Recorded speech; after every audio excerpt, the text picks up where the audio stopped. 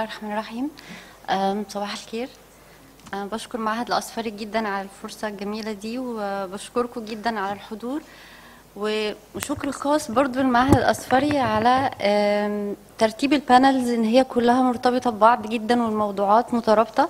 وده ما بقاش بيحصل كتير للأسف في المؤتمرات ال- بعض المؤتمرات الأخيرة اللي حضرتها.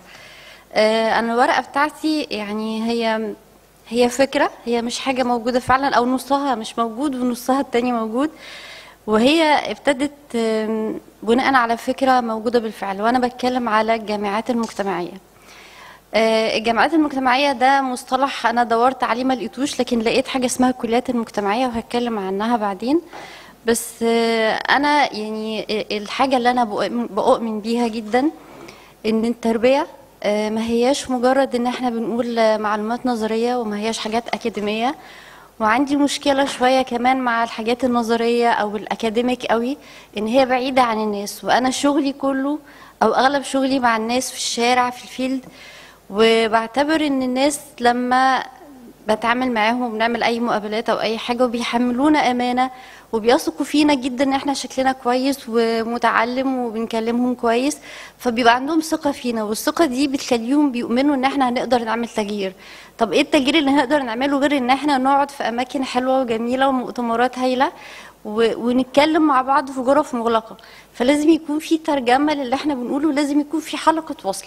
فأنا بحاول أعتبر نفسي و يعني هو شرف ليا إن أنا أكون حلقة الوصل ما بين الناس اللي في الشارع وأكيد مش أنا الوحيده طبعا اشتغل في الشارع أكيد في ناس كتير اشتغلوا في فيلد هنا بس بعتبر نفسي على الأقل في المجال اللي بشتغل فيه إن أنا حلقة وصل ما بين الناس اللي في الشارع. Okay والناس اللي في ال- ال field والناس ال academic أو المفكرين أو متخذي وصانعي القرار وأنا ماشية على مبدأ إن التربية هي الممارسة الفعلية للحاجات اللي إحنا بنتعلمها. وهدف الورقة إن إحنا أو أنا بحاول أعمل تمكين للمجتمع من خلال التربية والتعليم والتربية عملية مستمرة. آه، ما هياش بتنتهي عند وقت معين ولا فترة معينة. إحنا لغاية دلوقتي ولغاية ما بنموت إحنا بنتعلم وبنتربى. أي موقف بنخش فيه بيكون موقف تعليمي. والتربية حق للمجتمع ما هياش آه، يعني ما هياش فضل من أي حد على الناس اللي في المجتمع. فاحنا لازم نمكنهم بالتربية والتعليم وفي مقولة لأحد الناس المشاهير يعني اختلفت الآراء حول هذا المشهور يعني بس المقولة المهم إن المقولة بتقول إن أنت عايز تهدم حضارة يبقى تهدم الأسرة وتهدم التعليم وتهدم القدوة. وأعتقد إن في مجتمعاتنا العربية الحاجات الثلاثه دول بيتعرضوا فعلا للهدم. آه، التعليم هيخلي والتربية هيخلي في ترسيخ للكرامة الإنسانية والمسؤولية المجتمعية. والمسؤولية المجتمعية هي أساس الورقة اللي أنا بتكلم عنها النهاردة وأنا بتكلم عن حاجة اسمها الجامعات المجتمعية. وليه الجامعات المجتمعية؟ الجامعات المجتمعية هي جامعة عادية جدا هي الجامعات بتاعتنا كلها لكن إحنا هنحاول ندخل عليها جزء اجتماعي علشان نعمل أو نذوب ال- المسافة أو الأسوار أو نهد الجدار ما بين الجامعة وما بين المجتمع. إن الاتنين يذوبوا في بعض. إن ما يبقاش آه، اللي بره ومش قادر يخش الجامعة عشان أي ظروف اقتصادية أو أي ظروف إن كانت ما قدرش إن هو يدخل الجامعة لا يبقى عنده فرصة إن هو يبقى عنده تعليم حتى تعليم غير رسمي. والناس ال academic ال- الدكاترة والأساتذة والطلاب يبقى عندهم نوع من المسؤولية نحو المجتمع المحيط آه، بيهم. آه، وزي ما رانيا كانت قالت من من يعني ال panel اللي فات إن إحنا لازم نعلم الطلاب المسؤولية المجتمعية مش لازم بس إن إحنا نحفظهم ونديهم مناهج دراسية لأن ده مش هيبقى كفاية ليهم أو هيخلي فكرهم موجه ناحية وجهه معينة.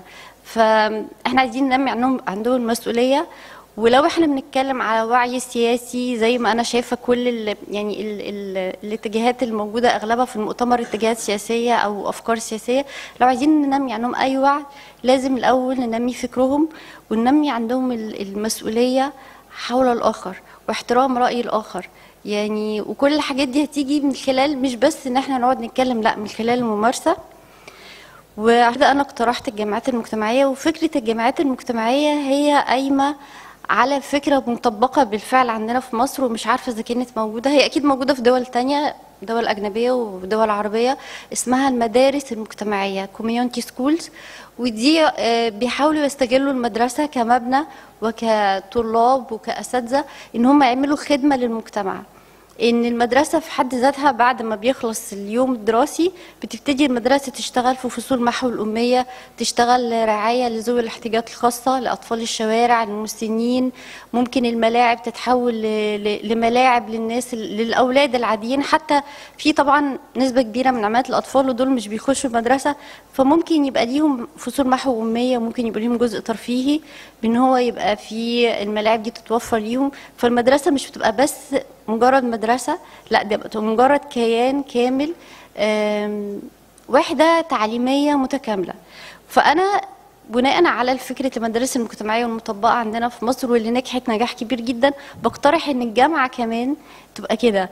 وطبعا الجامعة بما فيها من أساتذة وعمال وأبنية وكل الإمكانيات وده كمان هيدي فكر أوسع لأن أكيد الدكاترة والأساتذة عندهم فكر أكبر عندهم معلومات أكتر عندهم توجهات تعليمية أكتر يقدروا ينفعوا بيها البيئة المحيطة. ما يبقاش إن أنا بخش الجامعة كأستاذ أدي المحاضرات بتاعتي وأخرج. أو إن أنا كطالب كل همي في الدنيا إن أنا أدخل أخد المحاضرات وأنجح. وأنا كمان بقترح يعني يعني هو ممكن يبقى اقتراح شوية صعب بس هو أنا بقترح إن يكون في جزء من الدرجات أو جزء من تقييم الطالب على النشاط الاجتماعي اللي بيعمله وده موجود عندنا already موجود في ال AUC جزء منه في بعض الجامعات لكن أنا عايزاه يبقى بشكل إلزامي. إن يبقى الطالب ملزم يقوم بنشاط اجتماعي محو أمية أي تعليم تعليم فني تعليم تعليم حرفي آه، وبناء عليه يتم تقييمه يعني يكون جزء من التقييم بتاعه. آه، في مفاهيم متداخلة مع الجامعات المجتمعية. هو ده. آه، الأول أنا شرحت الجامعات المجتمعية هي إيه. مفاهيم متداخلة مع الجامعات المجتمعية في في حاجة اسمها المسؤولية الاجتماعية للجامعة ودي موجودة للجامعة. بس اللي أنا بتكلم فيه أعم وأشمل من المسؤولية المجتمعية. المسؤولية المجتمعية هيبقى جزء من الجامعة الجامعة المجتمعية. المسؤولية الاجتماعية جزء للجامعة إن هو بي بيقوم ببعض الأنشطة بيقوم ببعض ال ال الخدمات الاجتماعية. آه، لكن أنا عايزة الموضوع يبقى أعم وأشمل من كده. عايزة الجامعة يبقى ليها دور أكتر فاعلية في التعليم وفي رفع الوعي. وفي كمان حاجة اسمها كليات المجتمعية. الكليات المجتمعية دي هي موجودة في أمريكا وفي أكتر من دولة وموجودة عندنا في مصر وهي أساسا بتعتمد على التعليم برضو آه، اللي هو التعليم المستمر والتعليم الفني بشكل خاص. وللأسف هي عندنا في مصر بي بي تقريبا بيبتدوا ينهوا الموضوع التعليم الفني مع إنه هو مهم جدا. والجمعية الأمريكية للكليات المجتمعية كانت أصدرت تقرير عام 2012 وقالت إن 809 بليون دولار اتحقق من خلال الكليات المجتمعية لأن هي بتبقى مصدر للإنتاج. وأنا لما بتكلم على الجامعة المجتمعية مش بس بتكلم إن هي تبقى خدمة تعليمية لأ تبقى خدمة إنتاجية وحدة إنتاجية اجتماعية متكاملة. معرفش إذا كانت دي رؤية متفائلة أو زيادة عن اللزوم بس أنا شايفة إن هي رؤية ممكن تتحقق لأن أوريدي المدارس المجتمعية اتحققت. فأكيد إحنا في إيدينا إن إحنا نقدر نحقق الجامعات المجتمعية. هي ليها طبعا أهداف وليها أساليب بس أنا مش يعني هتاخد وقت طويل فأنا ممكن أدخل على طول على الجزء الثاني علشان الوقت. بناء على عندنا منطقة فيها مدارس مجتمعية فيها جامعة مجتمعية في حاجة اسمها مدن التعلم. أنا مش عارفة أنتوا سمعتوا عنها ولا لأ بس هو مشروع من اليونسكو وبيتعمل إن مدينة متكاملة بيتم تحويلها لمدينة تعليمية أو مدينة تعلم. بحيث إن كل كل كل فرد في ال في ال سوري. كل فرد في المدينة بيبقى مصدر للتعلم من أول البايع لغاية الأستاذ أو لغاية ال- المدرسة أو الجامعة أو الجامعة أو أي مكان. فمدن التعلم دي لازم يبقى ليها أساسيات تبنى عليها وطبعا لازم يكون في تهيئة للمجتمع قبل ما نبتدي مدن التعلم. مدن التعلم موجودة في حوالي ألف دولة وموجودة في دولة عربية بس واحدة اللي هي الأردن. إنما مش موجودة في أي دولة عربية تانية. ولو إن أنا شايفة إن في نماذج ممكن تتحقق فيها مدن التعلم. آه، يعني مشروع دكتور جاده تمكين أنا شايفة إنه مكمل جدا للي أنا بقوله. ولو هو اتعمم ممكن يعمل عندنا مدينة للتعلم والمدينة مش لازم تبقى مدينة كبيرة ممكن تبقى مدينة صغيرة ممكن يبقى جزء من مدينة يبقى الجزء ده مدن تعلم ويبتدي يتعاون مع اليونسكو ويبتدي يقدم له اليونسكو كل الدعم وكل كل الدعم اللي بقى الفني وال- والتدريب إن هو إزاي يتحول لمدينة ناجحة مدينة تعلم. وطبعا إحنا كده بالتعليم المفروض هن هننمي الوعي زي ما ما وضحت قبل كده. فأنا بقول إن الحاجات دي كلها ما هياش حاجات صعبة وأنا بطلب منكم دلوقتي يعني إن حضراتكم تقولوا لي آه إزاي ممكن تتحقق الفكرة دي من خلال الجامعات اللي حضراتكم بتشتغلوا فيها؟ يعني يعني بطلب من حضراتكم كل واحد فيكم لو هيعمل مداخلة أو أي حد فيكم يقدم رؤية بسيطة أو فكرة بسيطة إزاي ممكن نترجم اللي أنا بقوله ده؟ لأن أنا بطلب ده بصفتكم أكاديميك وبصوت الناس اللي أنا اشتغلت معاهم وحملوني أمانة إن أنا أوصل لكم الرسالة دي. فبطلب من كل حد رؤية إزاي ممكن نحول الجامعة اللي عنده لجامعة مجتمعية. والرؤية دي مش هنقولها في المؤتمر بس عشان يبقى إحنا فعلا عملنا حاجة فعلية وحققنا أهداف واقعية. إن الرؤية دي توصل للناس متخذي القرار في الجامعات اللي حضراتكم فيها أو للمسؤولين في أي وزارة تربيه وتعليم أو المسؤولين إن أنتوا فعلا تبقى دي رؤية تتقدم إن هي حاجة تتحقق.